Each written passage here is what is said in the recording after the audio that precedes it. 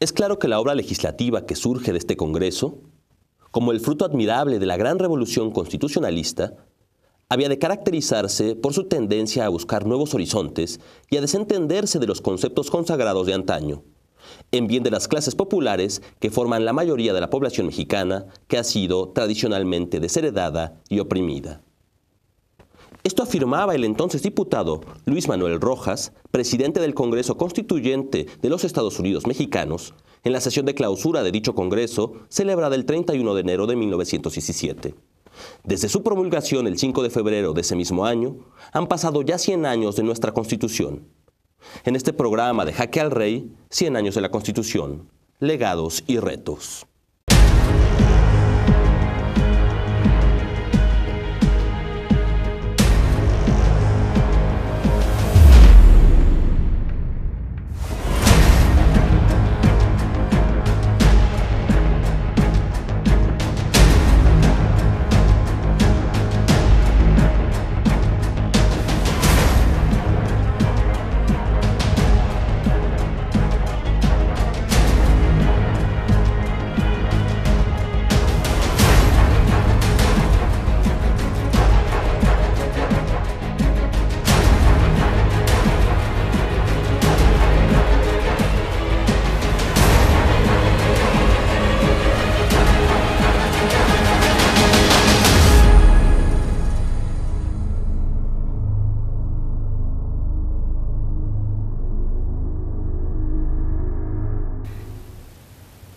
Bienvenidos a Jaque al Rey, un programa de debate político en el que cada 15 días analizamos las situaciones más importantes a nivel nacional e internacional.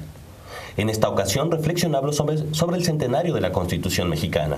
Para ello nos acompaña Octavio Martínez Michel, él es profesor del claustro de Sor Juana y es doctorante en Filosofía Moral y Política por la UAM. Muchas gracias, Octavio. También nos acompaña Natalia Calero Sánchez, ella es asesora en la Dirección de Derechos Humanos de la Corte. Muchas gracias. Gracias por la invitación. Gracias a ti. También está con nosotros Netzaí Sandoval. Él es director fundador de la Escuela de Derecho Ponciano Arriaga y es maestro en Derecho por la UNAM. Muchas gracias. Gracias, Netzaí. Y Brenda Gómez Carrillo también nos acompaña. Ella es licenciada en Derecho por la FESA Clatán y es directora de Análisis e Investigación de la Unidad de la Reforma Política de la Ciudad de México. Muchas gracias. Gracias a ti. Enseguida empezamos con el debate, pero antes vamos a ver el tablero donde se llevará a cabo esta partida. El pasado 5 de febrero se cumplieron 100 años de que la constitución política de los Estados Unidos mexicanos fuera promulgada. Resultado de un proceso revolucionario, encabezado en buena parte por los sectores más marginados del país, la Constitución mexicana fue la primera en el mundo en reconocer derechos sociales en sus artículos 3, 27 y 123. Sin duda, el derecho a la educación, la reforma agraria y el derecho al trabajo fueron un parteaguas no solo a nivel nacional, sino mundial. Sin embargo, la distancia entre lo que esos derechos dicen y la realidad de las y los mexicanos sigue siendo amplia, por decirlo menos. Además, es preciso señalar que las mujeres fueron las grandes excluidas en la Constitución de 1917, una constitución que les negaba, entre otras cosas, sus derechos políticos. Aunque a lo largo de los años esta constitución ha tenido más de 100 modificaciones, vale la pena preguntarse qué queda de la constitución de 1917 y si es necesario pensar en un nuevo proceso constituyente. En este programa de Jaque al Rey, a 100 años de la constitución, retos y legados.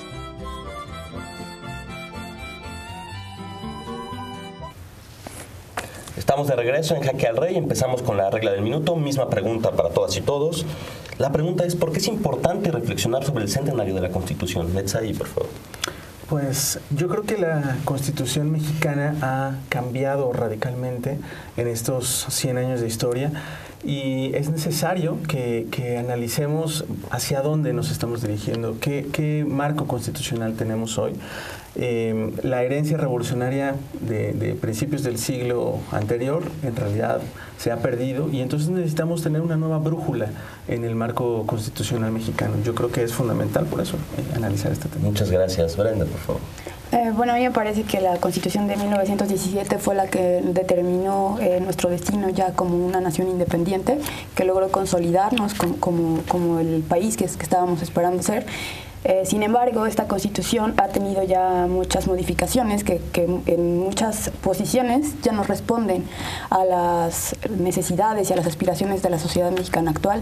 Y me parece que en el, en el contexto de crisis que nos encontramos, tanto a nivel interno como a nivel eh, internacional, es muy importante plantearnos cuál es el pacto social que nos va a llevar a lo que queremos ser y a cómo queremos demostrarnos hacia el mundo. Muchas gracias, Natalia, por favor. Bueno, yo creo que es importante siempre, eh, sea 100 años, 50, 25, los que sean, discutir sobre la que es nuestra norma fundamental, la que le da, digamos, eh, no solo la que reconoce los derechos, sino establece la organización del gobierno, pero sobre todo creo que la discusión, y es un tema que no, no se ha hecho este, suficiente...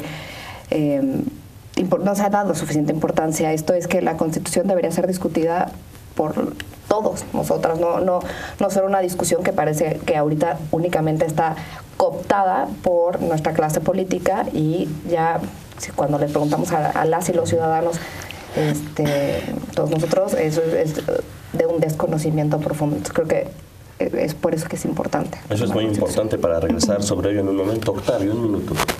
Yo diría que por dos cosas es importante reflexionar. La primera, para evaluar nuestra legolatría. Esta idea de que como por el simple hecho de haber puesto derechos eh, en, un papel, esto se vuelve en realidad por arte de magia. Nos vanagloriamos mucho de ser la primera, de tener la primera constitución social en el mundo, incluso por encima de la de Weimar, pero como ya se ha mencionado aquí, pues hay una distancia importante entre los derechos puestos en el papel y la realidad social mexicana. Esa sería la primera cosa. Y la segunda cosa para pensar por qué llegaron esos derechos a, ese papel. No llegaron por arte de magia, ciertamente, sino llegaron porque hubo una presión social lo suficientemente fuerte, una presencia social lo suficientemente fuerte para que estuvieran ahí. Me parece que esos dos son. Creo que se han dicho cosas importantes. Quisiera poner un primer tema sobre la mesa y es qué significó la Constitución en el contexto específico de principios del siglo XX y cómo eso transformó la situación del México de ese ciclo. Quien quiera comenzar. Bueno, yo retomaría esta idea. Yo creo que en efecto eh, mucho se ha analizado sobre eh, la aportación de la Constitución mexicana. Es decir, eh, el constitucionalismo surge con, la Revolución Francesa, con la, gran idea de los derechos individuales, del liberalismo, y por supuesto que la Constitución mexicana significó una nueva etapa, marcó una nueva etapa en la historia no de México, de la humanidad. Eh, digamos, posterior a esta gran eh, revolución y a esta eh, constitución mexicana, vinieron otras constituciones en Alemania, en Rusia, en otros lugares, para reconocer constitucionalmente los derechos sociales. esto, pues insisto, marca un, un parteaguas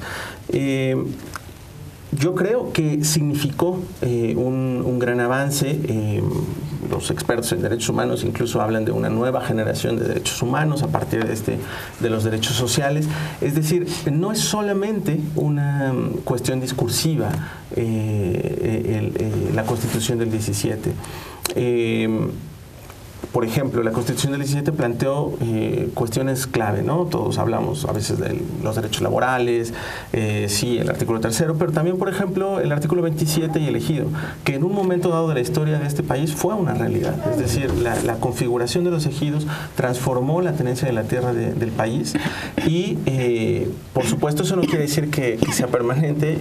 Hoy en día esto ha cambiado, pero, pero digamos que tuvo un impacto fundamental en, México, en la historia y en otras eh, latitudes. Es decir, a veces me parece que sí deberíamos sentirnos orgullosos eh, de, de, la, de, la, historia de nuestro país ¿no? y, de la aportación de esa constitución. Natalia. Bueno, querría enfocarme nada más, eh, que algo que también se retomó en la cortinilla respecto a los derechos de las mujeres no son las grandes olvidadas. La Constitución de 1917, por primera vez a nivel mundial, establece en el artículo 123, que es el único que menciona eh, el, vocablo como tal mujer. Eh, los derechos de las mujeres trabajadoras, ¿no? Entonces, un reconocimiento más que por los feminismos, que, no, era una lucha de, feministas, sino de obreras, eh, como parte de, un grupo de trabajadores, establece por primera vez las licencias de maternidad. Esto es novedosísimo y lo que tenemos hasta ahorita, que son los descansos eh, para poder alimentar, en ese entonces se llama amamantar, eh, a las personas a los hijos. Eso creo que es este, relevantísimo. Y sí es importante decir que la Constitución no las excluyó, porque lo que las excluyó fue la interpretación que se ha hecho de esa Constitución. Entonces, digamos, no, no debemos olvidar que no, la Constitución no es solo el texto como tal, ¿no? Y este es la interpretación que le han hecho los diferentes tribunales, la, la propia Corte a lo largo de estos años, que sean que por un lado han ampliado el ejercicio de derechos en, ciertas ocasiones o por el otro restringido, como en el caso de, políticos. La primera mujer en 1918 que presenta su candidatura le dicen, no, aquí mexicanos eh, se refiere a hombres. También es por eso importante, y aquí lo señalo, el lenguaje inclusivo, porque ahí sí se quiso interpretar como mexicanos, solo hablaba de mexicanos hombres. Por eso la necedad este, que, que se nos achaca a algunos de decir mexicanas y mexicanos en la importancia, ¿no? Este, lo dejaré aquí porque quiero escuchar otras otras cosas. Otros... Octavio, ¿estarías de acuerdo con este sí en términos generales, pero o sea, pero sí existe una exclusión de derechos políticos, ¿no? O sea, eso es innegable.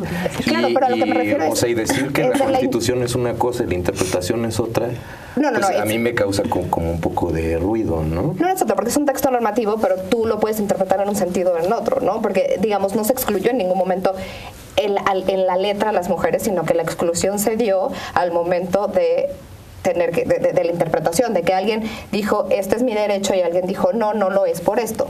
O sea, no, no estoy diciendo que en sí el documento como tal es un documento.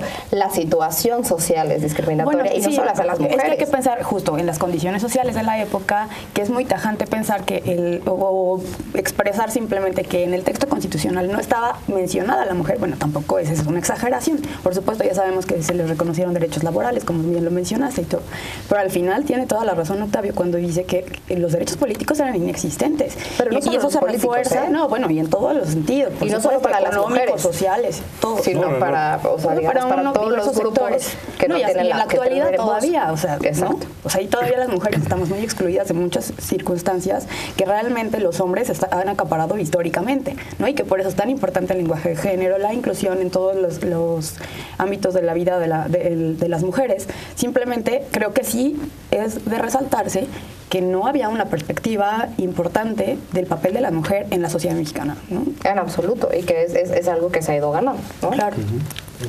yo quisiera agregar una cosa como respecto a la pregunta que hiciste de cómo cambió el, el, escenario social, político, y, y, tomo cosas que dijeron Natalia y, y Brenda me parece que, parte de lo que, de, lo que cambió el escenario político se puede ver un poco en las preocupaciones de Carranza en, los primeros debates, que es la constitución de 57 era absolutamente abstracta, principios ilustrados que nadie entendía, y bueno, nosotros queremos darle en esta nueva redacción algo este, como más real, por usar una palabra que, que entiendo que es problemática.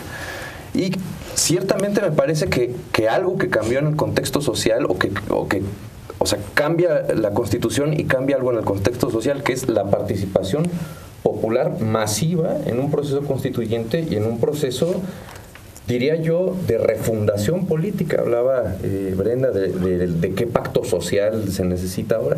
Bueno, me parece que en ese momento hubo una, una noción muy clara social de aquí vamos a hacer, o sea, la constitución no era solo un documento jurídico más, sino era la refundación del país. Y era el reflejo de la revolución, era la materialización jurídica de la, de la revolución mexicana, ¿no? Aquí hay, ibas a decir algo. claro, bueno, es que eh, la constitución en muchos sentidos, no solo las mexicanas, eh, son producto de revoluciones, es decir, eh, las primeras constituciones en sí mismas son producto de, guerras, de, revoluciones, y, y, en este momento también de, digamos, actores sociales que normalmente están sometidos, o clases sociales que normalmente están sometidas, que de pronto se encuentran en un nivel o o, en una situación a lo mejor armada, que les permite eh, establecer sus derechos o, tratar de que se reconozcan a través de la Constitución. Y esto, insisto, podemos eh, remontarnos no solamente a, los, las primeras constituciones oficiales, podríamos hablar de la Carta Magna de Juan Sin de 1215, donde es, un momento en el que los señores feudales le pueden exigir al rey ciertas cosas porque son más fuertes que él. Y justamente eso mismo pasa en la Constitución del 17, una, clases sociales que, que están armadas, que tienen eh, cierto de negociación para hacer que se respeten sus derechos. Eh, bueno, sí, es muy interesante lo que dices, pero al final también creo que el ejercicio en la constituyente de 1916-17 se da algo muy, muy importante, porque al final, a ver, ¿quiénes habían ganado la revolución? Los, los constitucionalistas, ¿no? El ejército constitucionalista. Venustiano Carranza presenta un proyecto que elaboraron cuatro personas, fundamentalmente, ¿no? Que está eh, Palavicini, Natividad Macías, y bueno, ¿no? Y entonces está con una perspectiva muy jurista, muy positivista, porque en ese momento estaba en, el apogeo esta, esta idea del derecho, ¿no? Además, retomaba los principales planteamientos de la Constitución de 1857, pero desde una perspectiva presidencialista, ¿no? Y los derechos sí los contenía, pero no estaba contemplando las demandas principales de la Constitución. Entonces, ¿qué pasa? Lo interesante es cuando llega este proyecto a la constituyente, cómo se va configurando las discusiones y las posiciones entre cada uno de los grupos, ¿no? Entre los jacobinos que se llegaron a llamar, ¿no? Los radicales, los moderados o los propios carrancistas que en algún punto pudieron disentir del proyecto que había presentado Carranza. ¿no? Entonces, ¿cómo se fue configurando para poder reflejar realmente las demandas de esa, de esa revolución? No solamente estamos hablando de los derechos este, laborales, del derecho a la educación, del derecho a la tierra, ¿no? O sea, muchas eh, ventajas que, se obtuvieron a partir de esa eh, negociación que se logró tomando en cuenta las necesidades de esa, de esa sociedad, ¿no? Y que al final sí transformaron radicalmente la, la realidad mexicana. ¿no? Pero ¿qué pasó? Que llega un momento que se detuvo.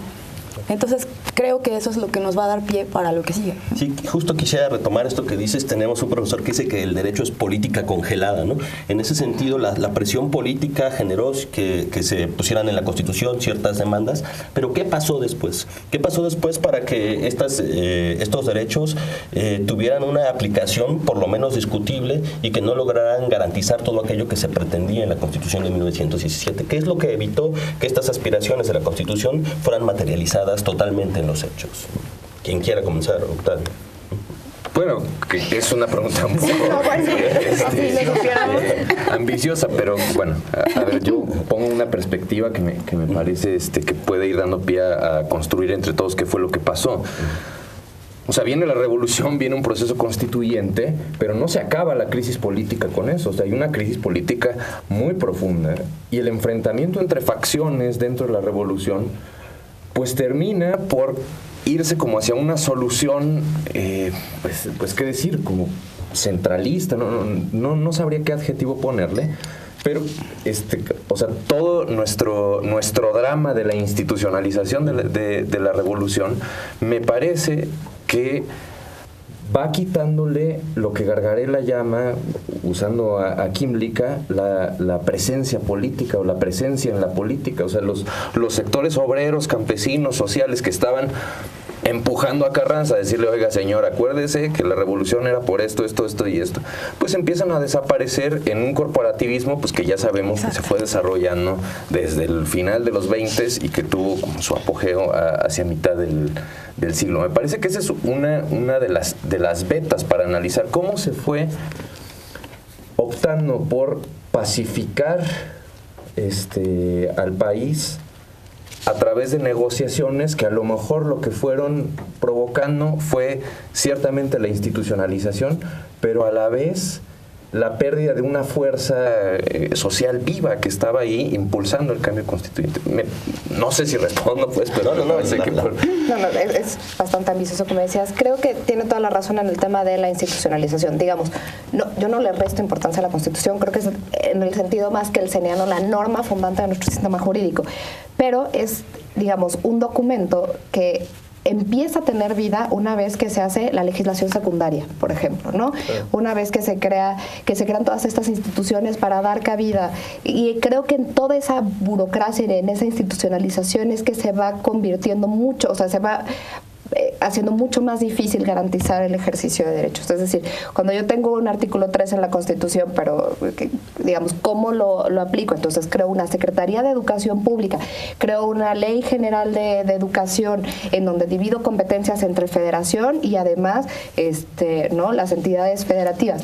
Todo eso hace que se vuelva mucho más complicado. La burocratización, yo creo que la institucionalización es una palabra bonita para, para, decirlo, pero a través de todos estos medios burocráticos y la legislación secundaria y, digamos, los grupos de interés que no, podemos olvidar, van teniendo eh, importancia en distintos momentos históricos, hacen que esta constitución tenga de repente un artículo que hable de ejido y por el otro lado el capítulo económico de la constitución y que también tendremos que repensar cuál es la congruencia entre todo y el, el, modelo que tenemos, porque tenemos en algunos artículos un modelo económico neoliberal y en el otro no, no, no parece tanto, ¿no? Entonces creo que es lo que va, la propia realidad social y los grupos de interés, lo que va moldeando esto en un periodo de institucionalización y burocratización de, temas.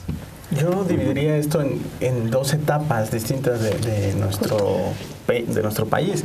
Es decir, la primera mitad del siglo XX, eh, yo diría que casi hasta los 60, en realidad la constitución mexicana pues logró eh, materializar muchos avances. Es decir, eh, la creación de muchísimos ejidos, eh, no sé, eh, por supuesto que la Constitución hablaba de la educación, pero la, creación de los libros de texto gratuitos, este, en fin, una serie de, avances sociales que sí tuvieron alguna vigencia eh, importante. simplemente el hecho mismo de que Lázaro Cárdenas pudiera expropiar este, ¿no? la industria petrolera del país, pues fue un artículo constitucional que le permitía ejercer esta facultad. entonces, creo que tuvo una, vigencia y un momento, digamos, eh, de auge. Posteriormente, después de esa segunda mitad, posterior a los 60, a los 70, comienza una eh, transformación del texto constitucional que es muy interesante. Yo les comparto un dato que seguramente hemos eh, mencionado en algún momento. La, la, Constitución mexicana ha sufrido más de 200 reformas. Eh, esto es eh, bastante interesante, ¿no? Claro, cuando uno analiza por artículos, ah, son, son muchísimas, pero simplemente por decretos son cientos, pues, ¿no? Este, entonces, ¿Qué estamos eh, viendo? Pues que hay un proceso de transformación de, la Constitución. La Constitución de hoy no es eh, parecida a la Constitución del 17, en realidad ha cambiado muchísimo. Y les doy un dato, por ejemplo, eh, la Constitución de España cambia una vez cada 14 años, más o menos en promedio la nuestra cambia una vez cada seis meses. Es decir, estamos en una cosa... Hay un promedio de este, cinco semanas. Una reforma cada cinco semanas. Justo por, eso les decía, cuando uno lo analiza a partir de artículos, es decir, cada cuánto cambias un artículo, pues cada semana. Pero si lo analizas, digamos, como ustedes saben, en un decreto se pueden reformar muchos artículos. Pero en fin, el punto es, estamos ante una norma que en realidad eh, es muy... Eh, flexible, muy volátil. Eh, teóricamente nuestra constitución es regida, pero en la realidad no lo es. En la realidad nuestra constitución es eh, eh, muy, muy maleable, ¿no? Siempre está cambiando. y tristemente muchas veces cambia para implementar proyectos políticos del de, el nuevo presidente en turno. Es decir, Felipe Calderón propuso una reforma en materia penal para poder arraigar y para ¿no? ciertas cosas que para él eran importantes en, su política, en, su, en sus políticas públicas. ¿no? Eh, otro presidente plantea su reforma constitucional para vender el petróleo. Otro presidente, no, cada quien plantea su reforma constitucional como si, como si esto pudiera modificarse, insisto, como está ocurriendo ¿no? este, eh, cada día. Eh, entonces, la constitución de hoy ¿no? ya perdió mucho sentido. El artículo tercero hoy habla de educación por competencias, ¿no? Es decir, estamos pensando en una educación este, para formar empresarios, o, en fin, eh, es un, es un enfoque distinto, ¿no? Ojalá fuera eso, pero bueno, no sé qué tiene esa reforma. el artículo 27 se modificó desde los 90, ahora también con la reforma energética se volvió a modificar. El artículo 123 eh, a lo mejor no ha perdido tanto, pero en el fondo Por ejemplo, la nueva ley federal del trabajo ha destruido los derechos laborales. Eh, hoy hay contratos a prueba, hoy hay eh, legalizado el outsourcing, hoy, en fin, este, hay una, transformación esencial de, los derechos sociales que habían sido el carácter de esa constitución.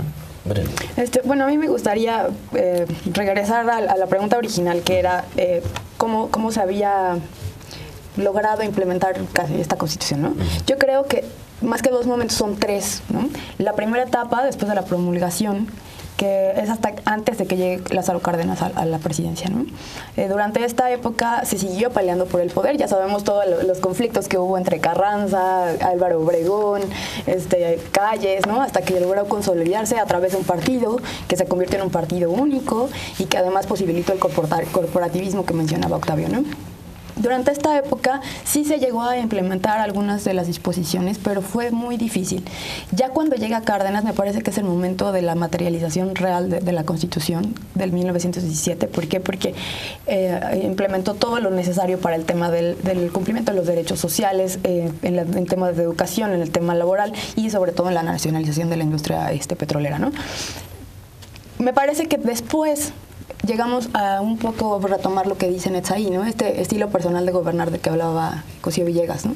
El problema es que la Constitución creo que se convirtió en un instrumento de, un estilo personal de gobernar para cada uno de los, de los presidentes, porque podríamos pensar que es desde una perspectiva del prismo, pero no necesariamente, porque el prismo también tiene sus matices, ¿no? No era lo mismo Lázaro Cárdenas que un Manuel Ávila Camacho o que un, Luis, o que un Luis Echeverría, ¿no? Entonces, por eso me parece que esta constitución ha perdido tanto de su sentido original no solamente en el tema de los derechos específicos o las, posiciones específicas, sino del espíritu. ¿no?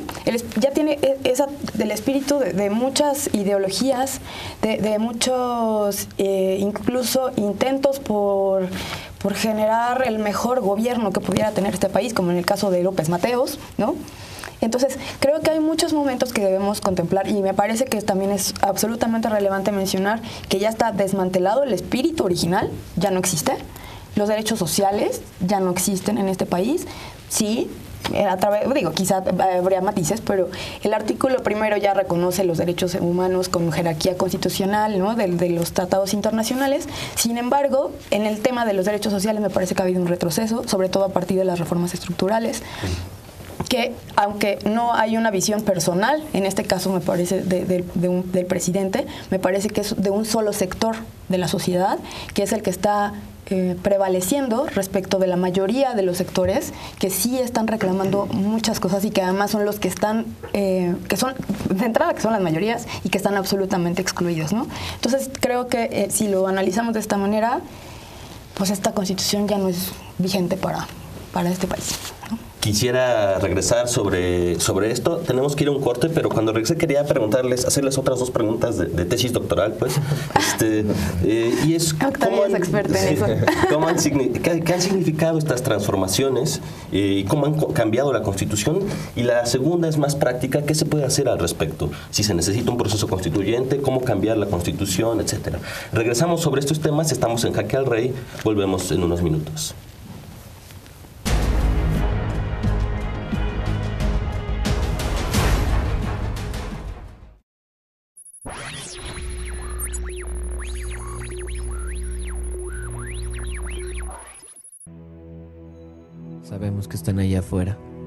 Podemos sentirlos. Sabemos que allá arriba tienen miedo a que la gente se informe. Temen al cambio. No conocemos el futuro. No hemos venido a decirles cómo acabará esto. Hemos venido a decirles cómo va a comenzar. Cuando termine esta señal, podremos ver lo que allá arriba han callado. Les mostraremos un medio sin nexos con los poderes fácticos un medio de comunicación crítico e independiente. ¿A dónde vamos? Es una elección que podemos construir juntos.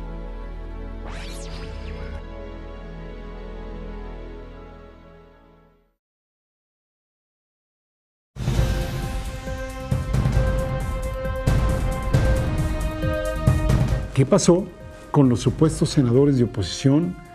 ¿Qué les dieron a cambio? ¿Cuál fue el acuerdo? dónde está el contrapeso entre los poderes.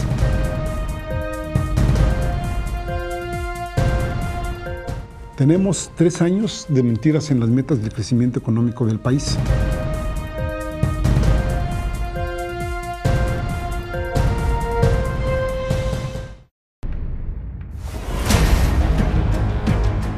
Estamos de regreso en Jaque al Rey. Antes de, de, las preguntas que decía, hay un tema que querían tocar aquí, es sobre el presidencialismo de la Constitución de 1917. ¿verdad? Ah, sí, bueno, que les comentaba que hay un tema que se nos había pasado un poco mencionar, que la perspectiva del sistema político que establece la Constitución del 17 es absolutamente presidencialista. ¿Por qué? Porque en 1857, en, esta, en la Constitución de 1857, se había hecho la crítica de los grandes intelectuales de la época, que eran Emilio Rabasa y Justo Sierra, ¿no? Que decían que el problema de, de, la consolidación política de este país era que la figura presidencial estaba muy débil frente al, al Parlamento, ¿no? el Congreso en este caso. Porque resulta que en aquel tiempo, bueno, quienes elaboraron la Constitución, como Francisco Zarco, Ignacio Ramírez, eran más parlamentaristas que presidencialistas. ¿no? Y sí es cierto, pero eh, desafortunadamente Carranza fue quien imprimió este sentido al proyecto y prevaleció, eso sí, en, el, en, la, en la aprobación de la Constitución final, este sentido presidencialista. Pero además habría que mencionar todas las facultades metaconstitucionales que se eh, arrogaba el presidente de la República ¿no? y de las que hablaba Jorge Carpizo, quien decía que es que el presidente tenía el poder absoluto, ¿no? Entonces designaba al regente, bueno, al sí, regente del Distrito Federal, a designaba los a los gobernadores, a los ministros, a los ministros de la Corte, designaba a los al siguiente, a su sucesor de entrada, designaba a los sucesores de los gobernadores de los estados, designaba prácticamente al, bueno, tenía un congreso completo, ¿no? Entonces, al fin, todas estas facultades le permitieron, en algunos casos, implementar la Constitución y en algunos otros manipularla a su a sus intenciones y conveniencias, ¿no? Tú tenías un matiz sobre eso, Natalia. No, coincido en absolutamente poder que no tiene actualmente. O sea, cuando nosotros leemos ahorita la Constitución, el o sea, y, y, de los últimos dos años para acá, con tantos organismos autónomos constitucionales, lo único que ha hecho el presidente, o sea, el, digamos, la figura del presidente, es ir soltando este, áreas que antes le correspondían y que no necesariamente, y ahorita esos poderes metaconstitucionales, pregunto, o sea, habría que preguntarle a Fox si pudo mover algo con el Congreso que tuvo. O sea, digamos, ya no es, ya no estamos frente a ese, ese presidencialismo, no al menos en la Constitución, o sea, no cuando uno lee la Constitución. Es que justo no por eso decía yo que, que es necesario un cambio de sistema político, ¿no? Ya, ya no podemos pensar en un presidencialismo absoluto ni en un eh, parlamentarismo, porque además este país no tiene esa tradición. No me parece que, que, estaríamos apuntándole más a un semipresidencialismo, en donde a partir de la pluralidad política que existe, ¿no? Porque no podemos olvidar que existe una pluralidad y que ya ningún partido va a gobernar solo, quizá apuntarle a un gobierno de coalición. Y eso sería lo, lo más interesante para poder favorecer eh, la, a la autoridad del presidente, a la autoridad que puede llegar a tener el Congreso y, por supuesto, el papel fundamental que tiene que jugar la Suprema Corte de Justicia como equilibrio para los poderes. ¿no? Ustedes y perdón, y aquí seguimos hablando de políticos y dónde está la gente. Uh -huh. O sea, a mí me, me, sigue dando terror que estamos hablando bueno, porque de estamos algo... hablando del sistema político, ¿no? Nos falta llegar a ese bueno, tema. Pero, pero yo creo que sí es una pregunta muy valiosa la, la que hacía Natalia. Es decir, eh, por ejemplo, en, en, el último proceso constituyente, a lo mejor me voy a adelantar, pero en el último proceso constituyente que vivió el país, que es el de la Ciudad de México, eh, en realidad quienes discutieron fueron políticos. La, la, sociedad civil estuvo muy lejos, y no solamente la sociedad civil organizada, sino la gente. Es decir, eh, la Constitución de la Ciudad de México ni siquiera va a pasar por un referéndum, no va a haber eh, una participación cívica. y, además, y, y yo creo que... apuntados, o sea, la gente, o sea, el 40, los 40%, 40%, los 40% fueron puestos. Designados por el presidente, por el bueno, jefe de gobierno, en fin.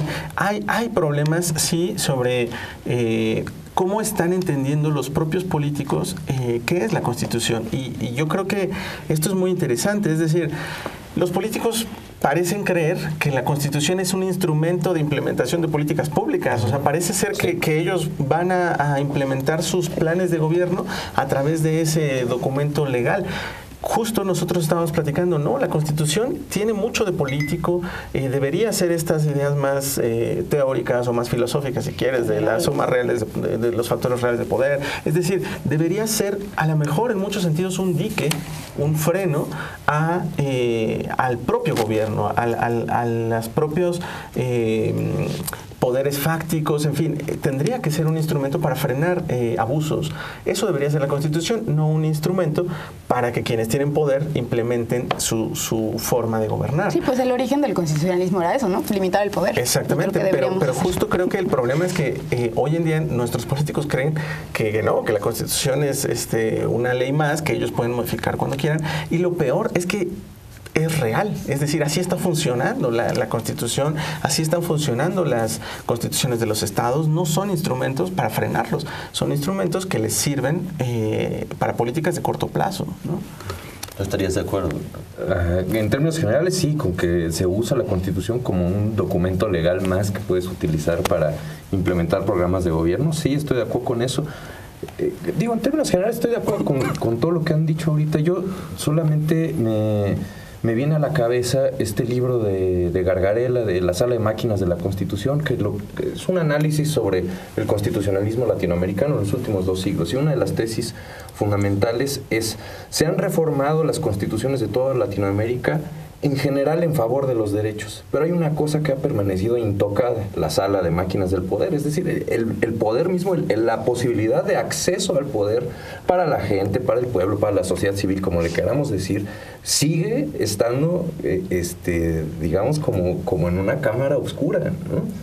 Entonces, lo que dice Gargarel es muy interesante. Hay una especie de, contradicción irresoluble, porque por un lado tienes constituciones con declaraciones de derechos amplísimas, organismos autónomos, qué, sé yo, toda una serie de protección de derechos muy sólida, si quieres, muy bien armada institucionalmente, pero por otro lado un poder intocado. Y si ese poder no lo puedes tocar, entonces, pues hablar de democracias en América Latina, de democracias constitucionales en América Latina, pues resulta un tanto este utópico. pues, sí por decirlo menos ¿no? un tanto absurdo. O sea no, lo que o sea Gargarela lo que dice es esto es absurdo no, no no hay forma de hacer compatibles estas dos cosas y por supuesto el caso mexicano no no está exento de, de ese problema. Un poco como regresando a este a, a esta idea de qué fue lo que pasó desde mi perspectiva un poco lo que pasó es que hubo un proceso de expropiación de la Constitución, o, pues, por decirlo con otros términos, de privatización de la, de la Constitución. Una Constitución que, que, ya como hemos dicho, hecha por presión popular, con amplios sectores, diversidad ideológica, heterogeneidad política, termina por ser un instrumento para el, ejercicio de, las políticas públicas en turno. Entonces, pues quedas un poco ahí expuesto a, ahora a ver al presidente en turno qué, qué es lo que se le va a ocurrir, o, al, o si quieres al presidente en turno, no al grupo de poder en turno, qué es lo que se le va a ocurrir este sexenio. Entonces, ya para no adelantarme del proceso constituyente. bueno, yo quiero regresar un poco al tema de, de Netzaí, precisamente por, porque bueno, tuvimos la oportunidad de participar en todo el proceso de la reforma política y de, y de la Asamblea Constituyente de la Ciudad de México. Me parece que es un, un, un, ejercicio muy interesante y que creo que pudiera servir de ejemplo para, para el país. Por supuesto, Hubo problemas, por supuesto hubo cosas con las que nunca estuvimos de acuerdo, en, en, empezando por la integración, ¿no? Nunca estuvimos de acuerdo con que hubiera 40 eh, diputados constituyentes designados. Sin embargo, bueno, así salió la reforma y pues no por eso íbamos a, dejar este proceso que se había esperado durante 200 años o desde que este país surgió como país independiente, ¿no? Entonces me parece que fue un gran ejercicio. ¿Por qué? Porque se hicieron muchos experimentos que no se habían hecho antes precisamente para atacar lo que mencionaba Octavio, ¿no? Este, este, esta maquinaria del poder en donde realmente se toman las decisiones, ¿no? Era intocada, ¿no? no había forma de, de, las personas acceder a eso. Sin embargo, ahora hubo distintas vías para poder hacerlo. De entrada, bueno, nosotros hicimos, tuvimos un proceso de consulta muy importante desde 2012 con diversas organizaciones de la sociedad civil en foros, a través de propuestas concretas. ¿no? Entonces nosotros ya traíamos un, un, una visión importante de lo que eh, nos habían comentado, eh, lo, las demandas que tenían la, las organizaciones y, las, y los ciudadanos. Eh, después, cuando se elaboró el proyecto de constitución por el grupo de trabajo, eh, me parece que hubo una representación importante de, de, sectores muy amplios de la sociedad. Entonces creo que ahí también hubo otra, otra, otra vía de representación. Y ya cuando llegamos a la Asamblea Constituyente, los diputados y las diputadas no solamente eh, eran políticos, había una integración diversa, incluso los partidos tuvieron un acierto en, eso, en poder incorporar a gente que no militaba precisamente en sus filas, pero que podía aportar mucho a este proceso. Hubo una vía para la presentación de propuestas ciudadanas, hubo audiencias ciudadanas y también hubo infinidad de, ocasiones en que se atendió a la gente en, en por tipos de manifestaciones o porque llegaban y querían abordar a, a los diputados y diputadas. ¿Quiénes eran los coordinadores de las fracciones parlamentarias? No, me queda César claro. Camacho Quirós. Yo no voy a Este, defender no sé eso. Si, no sé si es muy ciudadano, pero yo creo que no. Yo creo que es un político de profesión, de toda la vida. Este, no está para nada acostumbrado a escuchar a las organizaciones de la sociedad civil. En fin, eh, es decir, quienes tomaron decisiones cruciales, pues no eran los más abiertos Me necesariamente. queda claro, pero a lo que me refiero es a las vías de. O sea, no estoy diciendo Pero ¿quién que tiene este- acceso a esas vías? O Exacto. sea, O sea, a ver, e- ese es el tema. Es que O sea, estaba salgamos a la calle y preguntémosle a la gente. Exacto. Estaba diciendo, ¿cuáles son ¿Por las vías que, tenemos este hubo? terror de que la gente opine? Porque no estudió Ajá, derecho, no, Claro. o sea, y no es una crítica, No, no, no. sí, o sea, Exacto, no es, es- es una crítica al cómo se concibe el ejercicio del poder. Claro. O sea, cómo y, y de ahí muchas cosas, cómo se concibe la rendición de cuentas, qué es la rendición de cuentas.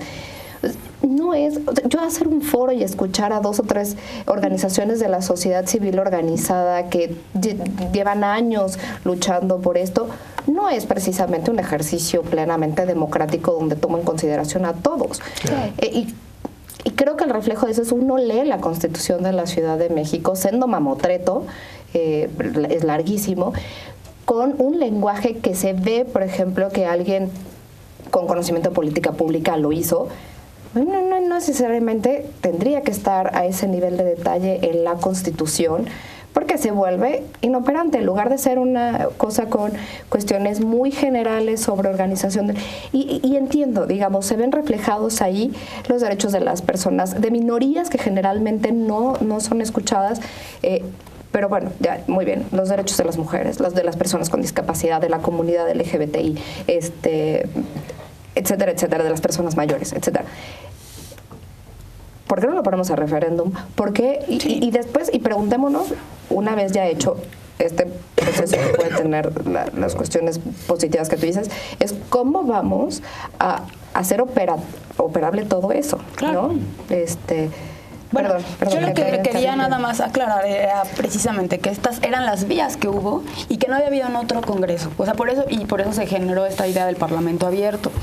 Me, me refiero a no es que este sea el ejemplo de, ¿no? Es un, un- nuevo ejercicio y eso significa que podemos generar nuevas formas para, para que la gente pueda acceder a la toma de decisiones. Eso, eso es precisamente lo que ¿Tú querías agregar algo? Sí, yo nada más. eh, este, Natalia hablaba de- del ejercicio del poder, yo hablaría también del ejercicio del derecho, ¿no? En, en el proceso previo a la constituyente, para mí fue muy. No, no, no sé qué decir, muy decepcionante escuchar a N cantidad de abogados, abogadas, juristas este, de alto renombre decir, pero ¿cómo es posible? En el consejo de redacción no hay, hay ciudadanos ahí de a pie, ¿no? O, o sea, con esta noción elitista de que el derecho es de los abogados para los abogados y ellos se lo llevan a la tumba. Entonces, ¿cómo puedes hablar de un proceso constituyente en el que tú lo que pides es, no, no digo que, que- que todo haya sido así, pero, pero el gremio jurídico, una buena parte del gremio jurídico, sobre todo el, el que tiene renombre, estaba horrorizado de la presencia del pueblo en un proceso constituyente. Bueno, entonces, pues vamos a regresarnos, ya, ya no digas al 17, vamos a regresarnos a antes del 24, ¿no? Y vamos a poner a- solo a una junta de notables a elucubrar sobre los aspectos más técnicos e ilustrados sobre el derecho y que nos otorguen nues- nuestra constitución. Eso, eso a mí me parece escandaloso, eh, digamos, de la práctica jurídica mexicana, no solo es mexicana, es, es Sí, sí. mundial. ¿no? Y en vías de pensar si es que debería haber un proceso Claro, claro. constituyente nuevo o no, pues ese es uno de los temas principales, ¿no? Hablando de parlamento abierto, de justicia abierta. Pues, ¿dónde está la gente, no? Regresamos sobre ese punto, vamos a un corte y regresamos al momento leninista del programa. ¿Qué hacer? ¿Qué gente? Regresamos a Jaque al Rey.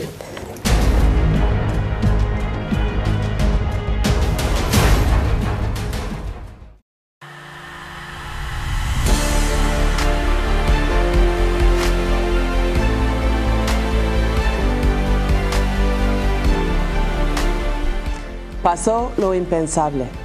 En la madrugada del 9 de noviembre, Donald Trump fue declarado presidente electo de Estados Unidos. Subió como una amenaza y culminó en la presidencia de los Estados Unidos. Ahora presenta uno de los retos más grandes de la historia reciente de nuestro país y de la región.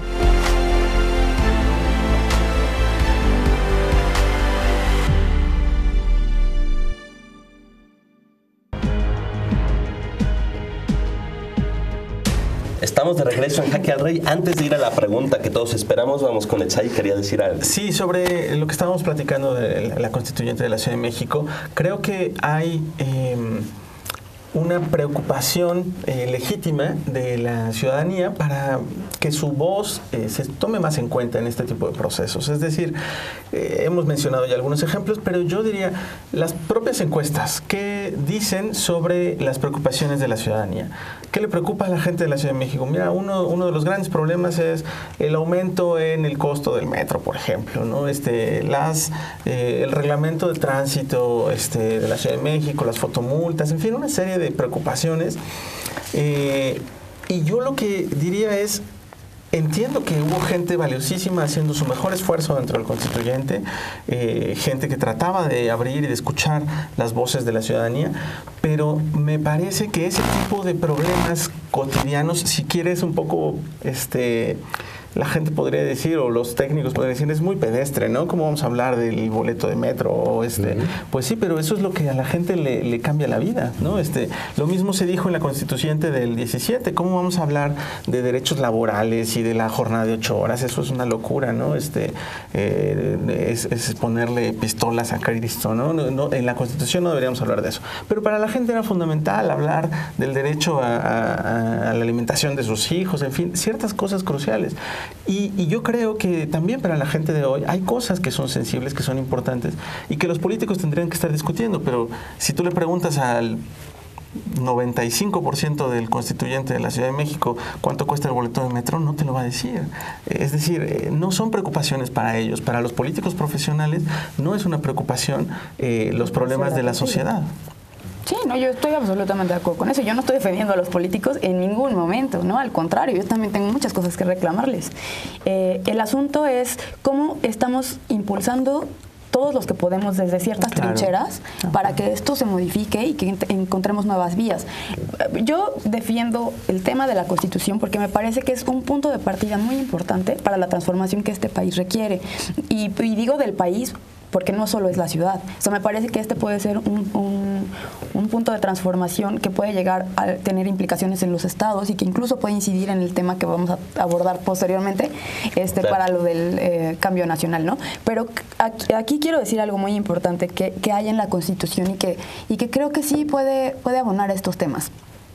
Hay mecanismos que van a, a posibilitar una participación ciudadana real. ¿No?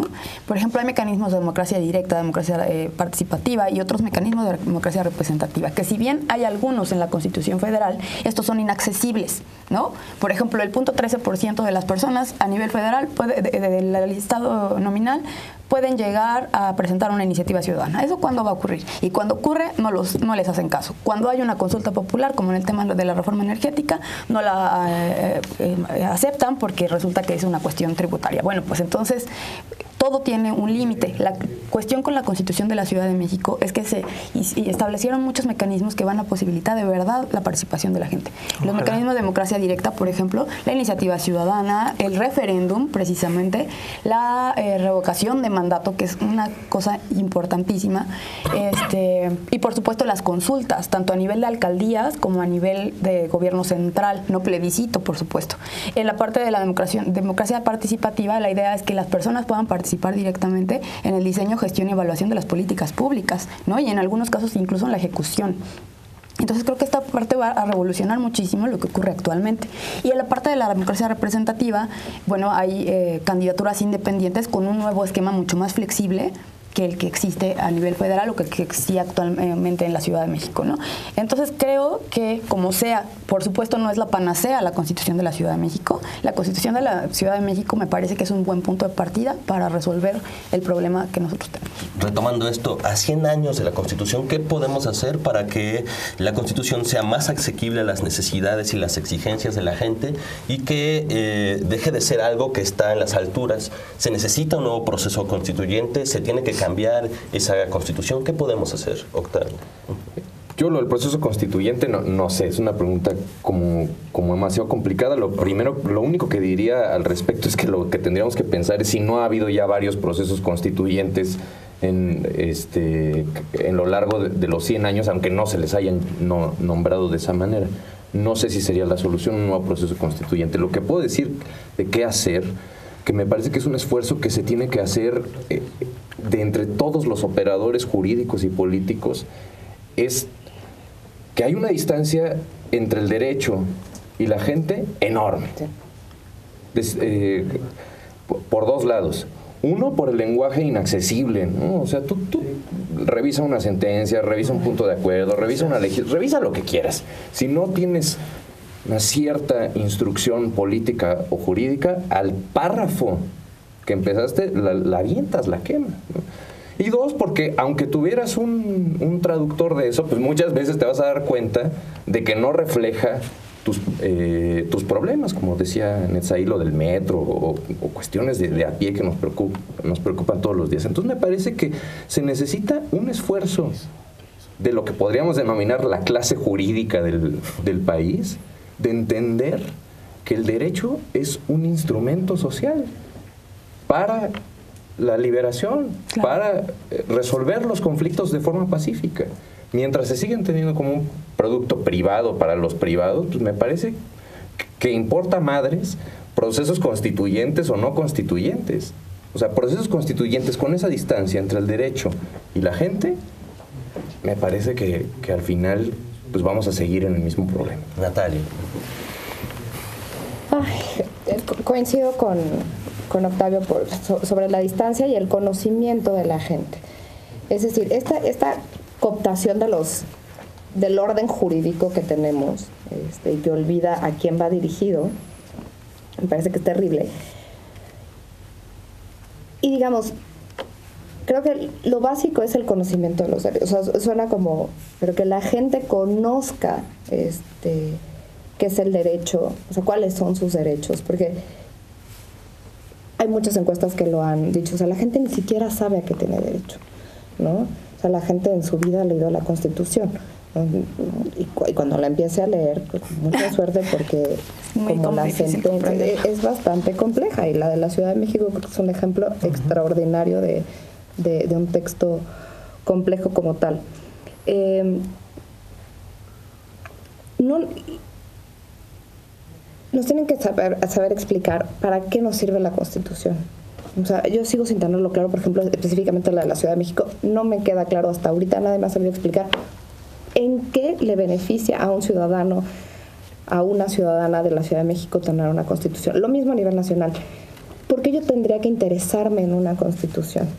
¿Por, por, qué a mí como, como ciudadana, ciudadano, que sí me cuesta el metro, que tengo que saber cuánto cuesta el precio de la tortilla, que tengo que ir a, que tengo que moverme de un lugar a otro tres horas para poder trabajar y tener un salario medianamente digno, puede que sea fuera de la, este, digamos, considerando que, trabajo en el sector eh, oficial, digamos que estoy, que tengo seguridad social y todo eso en el mejor de los casos, ¿por qué habría de interesarme, o sea, toda esta discusión que nosotros estamos teniendo ahorita?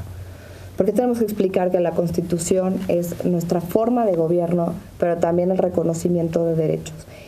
Y eso creo que... ¿Qué tenemos que hacer una constituyente? No, no creo. Yo creo que lo que tenemos que hacer ahorita es hacer del conocimiento de la gente y Ir, y enseñar cómo se judicializan los derechos.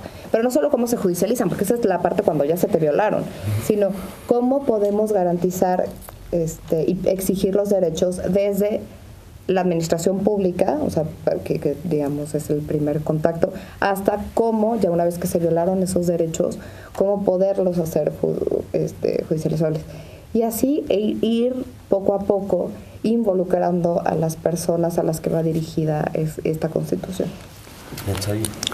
Mi respuesta sería luchar.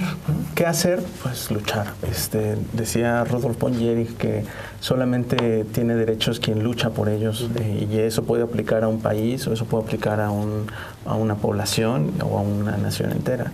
Eh, la única forma de hacer valer los derechos que pueden estar ahí plasmados en textos muy bonitos eh, para que de verdad tengan vigencia es luchar, ¿no? Y, estas luchas pueden darse en muchos ámbitos. Por supuesto, uno eh, que, a lo mejor debería preocupar a los abogados, pues es hacer justiciables, exigibles los derechos, ¿no? Eh, eh, y en ese sentido, digamos, también la, la gente dedicada profesionalmente al derecho debería tener más preocupación sobre sobre casos que a lo mejor no pagan tanto, ¿no? Es decir, los abogados mexicanos están dedicados al litigio de, ciertos asuntos, pero ¿quién defiende a los migrantes en México? Este, ¿Quién defiende a las trabajadoras domésticas? ¿Quiénes son, ¿Quiénes son los abogados especializados en esas materias? Nadie, ¿no? Eh, los abogados mexicanos están especializados en civil, corporativo, en fin, este, no hay una preocupación fuerte de nuestro gremio eh, por estas eh, poblaciones en, en, situaciones de vulnerabilidad. Es decir, los migrantes prácticamente no tienen derechos en este país, a pesar de las, los avances legislativos que se han logrado, porque, por ejemplo, hay una nueva ley de migración que reconoce ciertos derechos a los migrantes, una nueva, un nuevo marco, pero ¿Dónde están los abogados para ir a, liberar, a eh, solicitar amparos, a, este, a exigir los derechos laborales de esos migrantes? En fin, no existe, ¿no? Este, yo creo que esa parte es fundamental, eh, luchar por los derechos. Se nos ha acabado el programa, tenemos que ir a la regla del minuto, que ahora va a ser regla de 30 segundos, porque estamos a dos minutos que acabe el programa. Última frase, casi en una frase, ¿qué dirían para terminar este programa? Brenda. Bueno, es que yo ya no pude expresar mi opinión, pero me parece que sí requerimos un proceso constituyente nivel nacional. Eh, por muchas razones, no nada más porque sea una cuestión de, eh, jurídica, sino porque puede mandar un mensaje también a la, para una construcción de, o fortalecimiento de la identidad nacional, que mucho lo necesitamos en este momento, y para poder acercarnos realmente a, la toma de decisiones todas y todos. ¿no? Y obviamente a través de mecanismos de exigibilidad, que la constitución de la ciudad sí tiene, ¿no? tenemos mecanismos que la gente tiene que conocer, como la acción de protección de derechos el juicio de restitución obligatoria. Diría que los invito a conocer la Constitución de la Ciudad de México para ver que sí es posible un, ejercicio distinto del derecho. Natalia, por favor. Yo diría que a 100 años de la Constitución tenemos que reconocer que efectivamente sí tuvo grandes avances, muchos de los cuales se pudieron, eh, se han podido ver, operar. Hay gente que ya tiene vivienda, hay gente que sí tiene educación, hay gente, digamos, este, reconocer históricamente su, su, su valía pero ponernos a trabajar y dejar de creer en este formalismo mágico, yo le diría, de, que algo esté en la Constitución o en una norma por escrito, simplemente va a suceder. Octavio, Sí, yo así en una frase diría que estamos en un, en un proceso en el que es urgente la reapropiación del derecho. Yo diría que deberíamos ver con esperanza este momento histórico. Hay herramientas, la reforma a la ley de amparo, la nueva reforma en materia de derechos humanos, eh, las acciones colectivas, es decir, hay instrumentos para que la sociedad eh, haga valer sus derechos, eh, digamos, dejar que, que, de verdad tengan vigencia en la realidad. Les agradezco mucho haber estado aquí en Jaque al Rey. Es un debate sumamente interesante. Tendremos que hacer otro programa para tocar los temas que no pudimos tocar. Nos vemos dentro de 15 días en otro programa que no verá en una televisión comercial.